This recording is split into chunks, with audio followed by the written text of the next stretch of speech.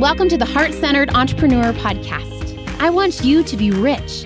Yes, I want abundant financial success for your business. But I don't just care about your business making money, I care about you too. I want you to be rich in happiness, in the impact you make, in your relationships, and in how you give back. I'm Anna. I built my six figure business as a side hustle while I was pregnant with my daughter in 2016. Now I've helped dozens of women do the same.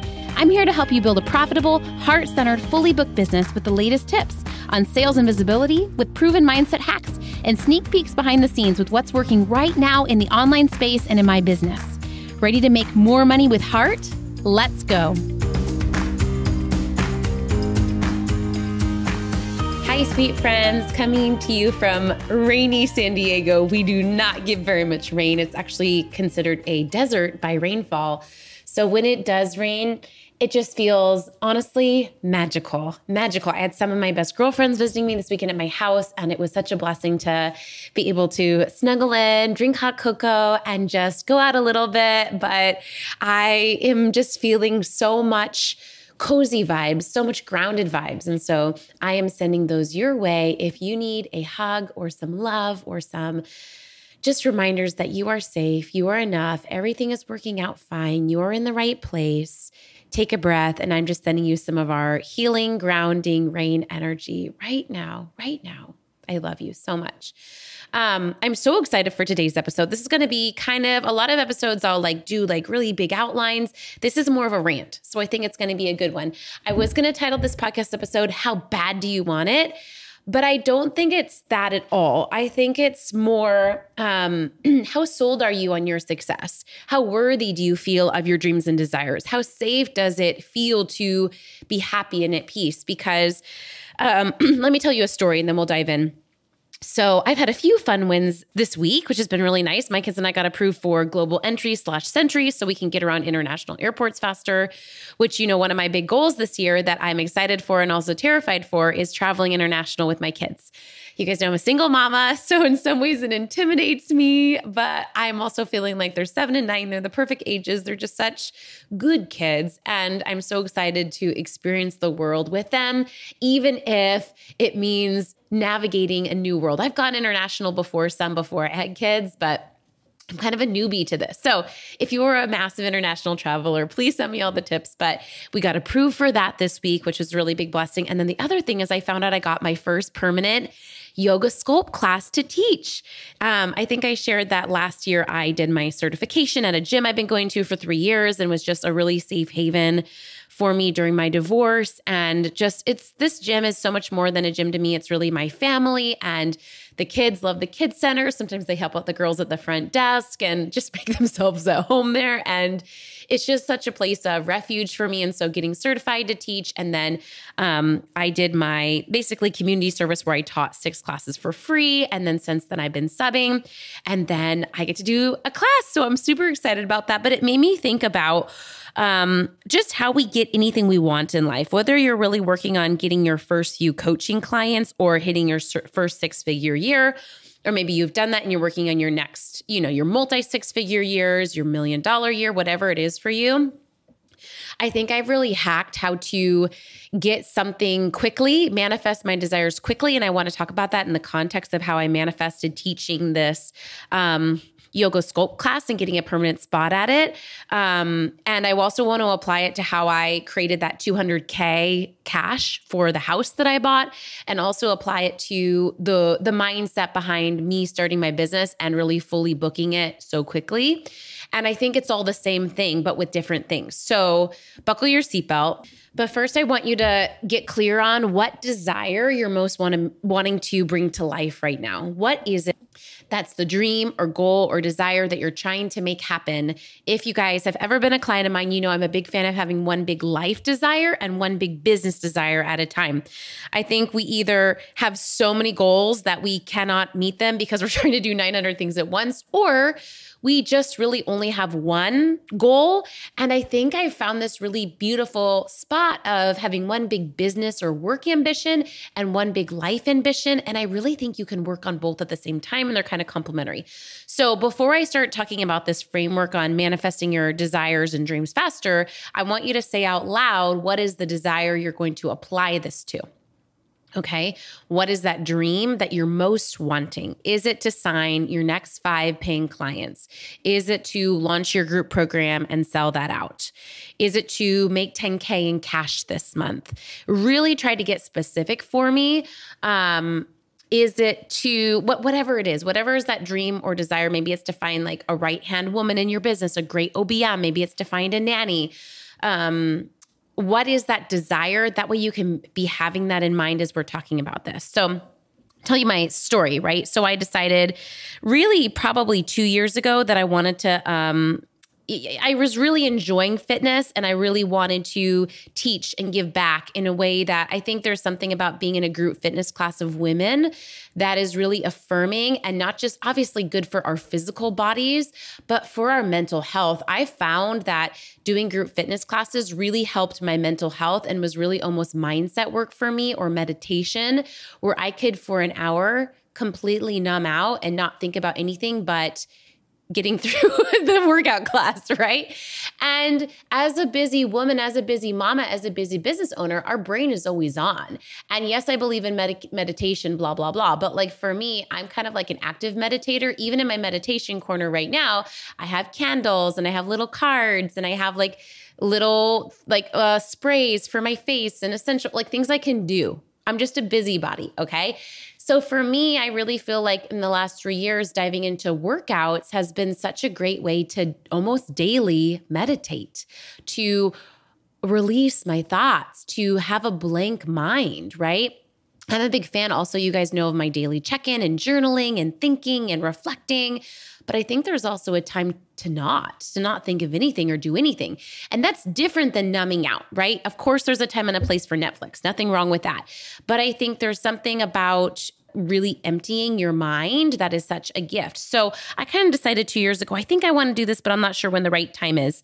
Um, I did another little barre certification, but I never really followed through on it. And then the opportunity came up to do the six week certification. And I did that. I paid money for it, obviously.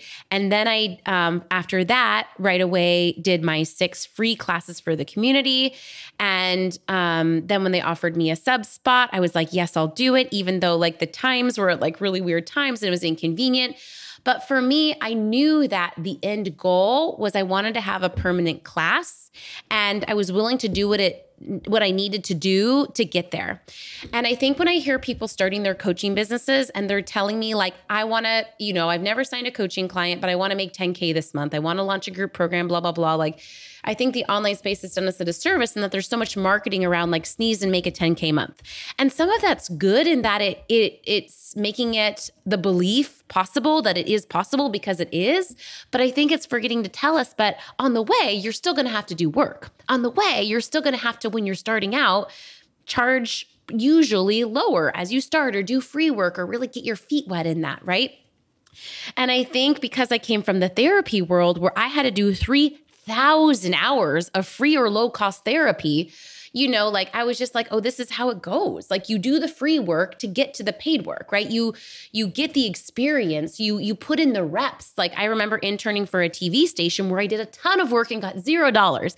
And i'm not saying that you know we need to do that forever because you know i'm a big fan of also believing you're worthy of money and making an f ton of money but i think these are related.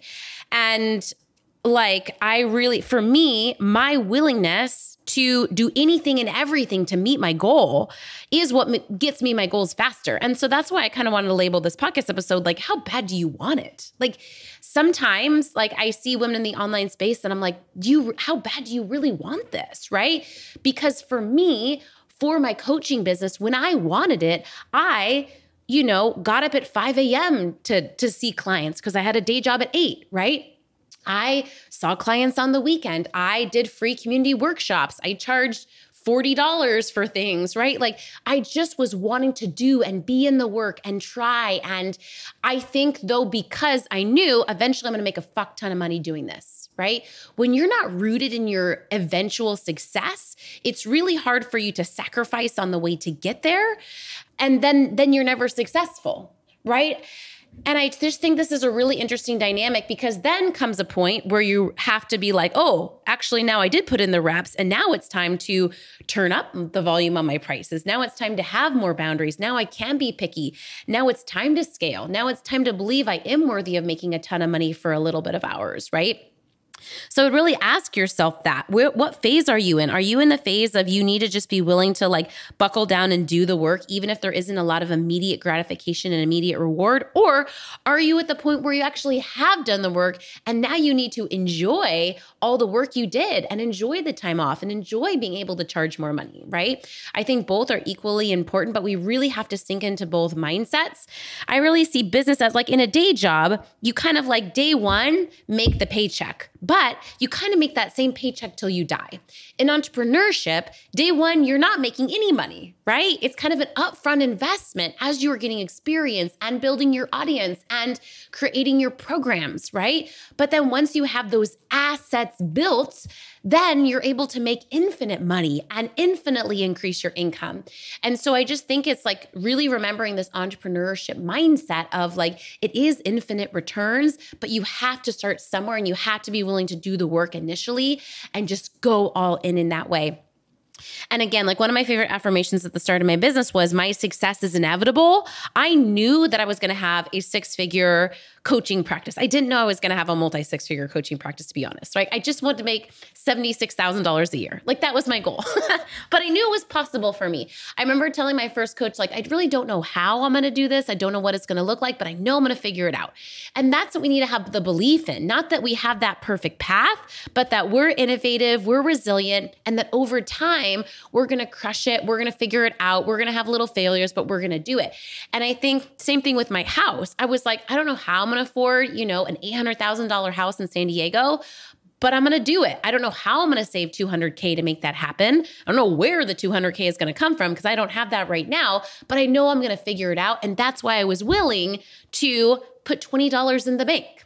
And a lot of people aren't willing to put $20 in the bank towards their $200 cash goal because they're like, oh, it's never going to happen. And if you believe it's never going to happen, you're never going to take the small steps that actually make it happen. Do you see how this is like a chicken and the egg, right? So, what I'm saying is, it's so interesting, but I find that the women that are most convinced of their big goal happening, of their eventual success being a no brainer, the more willing they are to sacrifice right now to make it happen. They're like, I'll do anything because I know this is going to happen, right? Like, think about me, right? I was like, I know I'm going to save the 200K. And so, of course, I'm going to save my pennies. Of course, I'm going to, you know, scrimp and scrounge and do whatever I need to. Now, that being said, I'm not saying sacrifice at all costs, right? Like I said, for when I started my coaching business, I was willing to wake up at 5 a.m. to do coaching calls, but I wasn't really willing to work at night, right? Or do coaching calls at nights because that's when I was with my babies. I talk about this in my book, Freedom Fund, but I think it's really about finding the sacrifice sacrifices that feel like a sacrifice, right? Are you willing to sacrifice to meet your goals? We sacrifice for everyone else in our life. I find that I talk to women all the time when I talk to them about sacrificing for their goals. They are sacrificing left, right, and center for their kids, for their partner, for their friends, but they're not sacrificing for themselves, right? and so getting clear on like what you are willing to sacrifice on and what you're not, right? Like I said, when I was working on my 200K cash goal, I was willing to live in a one bedroom apartment with my babies, right? But what I wasn't willing to do is cancel my $200 a month gym membership, right? Because for me, that was like, mm, no, that's my mental health lifeline.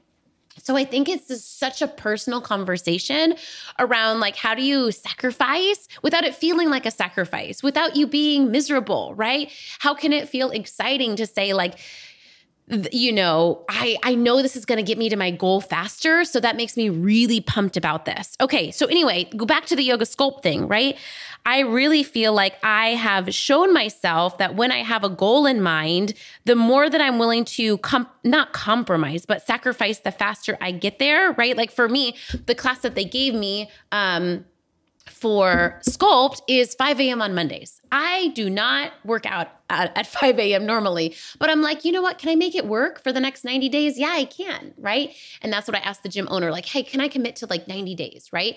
And I think that's the other thing is we think when we're making these little sacrifices, we think like, oh, this is going to be forever because I'm not going to meet my goal. If you're locked in on you know you're going to meet your goal, you're happy to make the short-term sacrifices because you know they're short-term, right? I was like, shoot, I'm happy to live in a one-bedroom apartment because I know it's just going to be for a year, right? And then it almost gets exciting and it almost gets glamorous. Like it sounds wild, but then my mind really went to like, you know what's nice about a one bedroom is it's going to be really easy to keep this clean. You know what's nice about a one bedroom is I don't have a washer or dryer, so I'm going to pay someone to do my laundry for me. Like then your brain is going to go to work on how to make the best of that situation. Um, like for me, I'm like, mm, do I really want to get my kids out the door and go to the gym at 5 a.m.? Not really, but I'm like, you know what? That's going to be great motivation to get me to bed early. That's going to be great motivation for us to get more organized on the way to school, right? And so I think it's just remembering you were making these like sacrifices when we want something badly for 90 days at a time. And then you can assess do I want to keep doing it or not? But I, again, like, I see this theme like for me getting a teaching position at the gym really quickly, for me saving the 200K for my dream house, for me fully booking my coaching practice. Let's talk about that one a little more. I really feel like I had that belief, right? I believed I was worthy of my my dream to have a fully booked coaching practice. I felt, you know, worthy of that. Of course, like along the way, I did have some blocks around like when I started receiving money, I had to do a lot of mindset work around feeling okay receiving money for talking to women on Zoom and making like way more than I was doing that in person as a therapist. And again, like really believing like it's safe to to do something that comes this natural to me and make money and enjoy it. I think our world has really conditioned us to believe that work equals misery, right? Like work has to feel hard and uncomfortable. And, but no, like work really can be that thing that you enjoy, whether it's, you know, I find that most of my clients go into one or two buckets. Either they are doing some type of coaching or they're doing some type of service providing, right? And for my women that are coaches, like those are women that love to talk to people, love to listen to people, love to help people solve their problems, right? And they've probably been doing a version of that for a long time and never getting paid for it or never getting paid well for it. So it's kind of a mind F to be paid well for something you've always done or never been compensated really well for. And then suddenly someone's paying you a thousand dollars for something that you've always done for free, right? Same thing with service providing, right? Those women that are website designers or accountants or virtual assistants, right? Really getting compensated well for something that historically has not been compensated well, right? So, of course, there is that mindset work there. All that to say, I just noticed my theme that along the way to manifesting every single desire I've ever had quickly, that there's been a theme of wanting it badly, believing that it's mine. Like, duh. Like, even if I have moments of doubt, at the end of the day, I know I'm going to have this thing.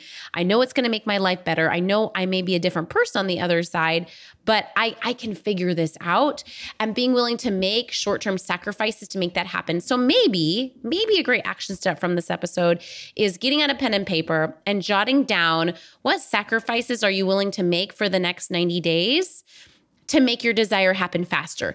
And this is just a rough draft. You don't have to do these ideas, but maybe just create a buffet of what's possible for you. Like maybe if you're working on signing your next five coaching clients, some of the options of sacrificial actions would include um, getting visible online, even if that feels like torture, right? like posting more on social media, or maybe it would be hosting like a free community workshop in your local community. That really worked for me well when I was starting off life coaching. Um, or maybe it would be reaching out to people and really connecting and offering a free coaching call with them or a free package of five VA hours if you're really working on launching that business, right? What are some brave things you can do? List them out. Maybe come up with 10 ideas and then pick one, right? Maybe it means waking up at 5 a.m. or 6 a.m. so you can have two hours before you go to your day job to actually have dedicated work time.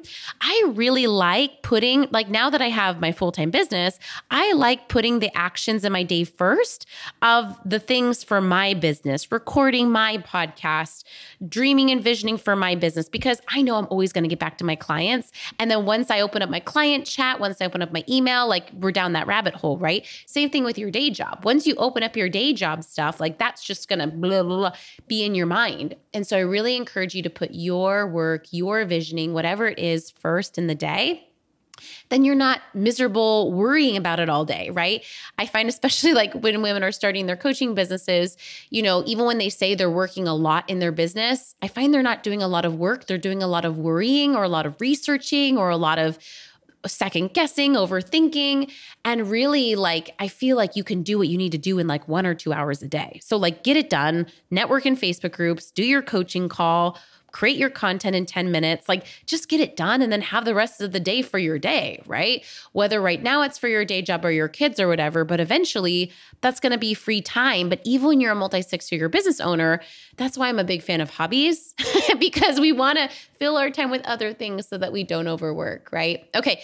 Hopefully this was useful for you and hopefully I think a lot of not not of people talk about this along with their success. Like, yes, I have a lot of success, but also I'm willing to do like whatever it takes to get there, right? So, what are you willing to do so that you can get to your goals faster in a way that feels aligned for you, in a way that feels abundant for you, in a way that feels non restrictive for you? And again, it might be an action like waking up at 5 a.m. to work on your business, but it also might be more of like a courageous thing, like being able to be visible or reach out or actually sell and post on social media like, hey, I have actual spots open if someone wants to work with me as their coach, right? Maybe it's like posting on your personal Facebook page that you have coaching spots open. Like, think less about things that are going to take a lot of time and more things that are courageous and brave and dropping your ego. Because at the end of the day, we're going to all die. like, and so while we're alive, while we're here, like, let's make the best of this life. And the people that love you, like me, like your closest friends, we're going to be here for you no matter what. And so, so often we shape our behavior around people that whose opinions don't even matter to us, right? So forget what the internet thinks, forget what your judgmental friends think, and just remember what what do you think about yourself? What do I think about you, right? It's okay for you to make mistakes. It's okay for you to get messy. It's okay for you to look silly, right? Drop your ego at the door and accomplish your dreams and desires. This is the year to make it happen. This is your year, and it's going to come through courage. It's going to come through some sacrifices, but really it's going to be fun along the way, right? You can either be miserable avoiding your goal or you can be miserable hit making your goal happen. okay, I love you very much and sending you lots of love today. Okay, one more thing I almost forgot to tell you. If you resonate with my work, you're going to love my absolutely free workshop. Sign your next five coaching clients with one simple strategy, the strategy that I use to fully book my coaching practice twice for my maternity leave in about 90 days. And I teach you this exact strategy in this 20 minute webinar. You guys know I do things differently around here. So, this 20 minute presentation has a workbook and it will really help you understand the strategy that I used. And once you finish it, I give you $3 coffee money. Yes, I will PayPal you because I want you to go to a coffee shop and actually take action on what you learn in these 20 minutes. So, I'll put the link below, but it is heartcenteredentrepreneur.com slash free workshop. If you want to get the strategy to sign your next five paying coaching clients, you're going to love it. And I cannot wait to hang out with you over there.